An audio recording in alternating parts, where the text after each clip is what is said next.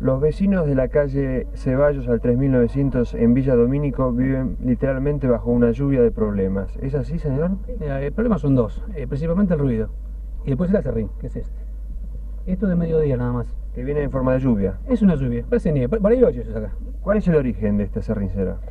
y porque es una fábrica de muebles y entonces eh, creo que al cerrar la madera se desprende Y la acerra fónica. El problema es que la Claro. torba, la, Señor. la torba, la torba está, o sea, eh, recargada de acerrín y al no tener más salida, sale por arriba, sale. Recién, eh, ayer casualmente la tarde la vino a descargar.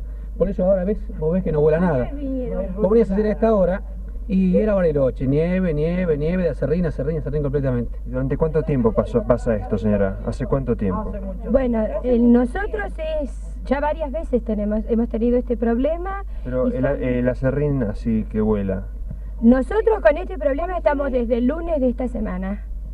Yo he ido a las oficinas de la empresa el martes, les he explicado el problema, les he pedido que por favor busquen de solucionarlo, pero no se han hecho eco de nada. He ido yo, han ido gente de la cuadra también el mismo día y no vemos una solución. ¿Y qué ocasionó en su caso esto? En mi caso particular tengo dos de mis chicos con conjuntivitis alérgica desde el lunes. Les llevé a los nenes para que vieran en las condiciones en que está.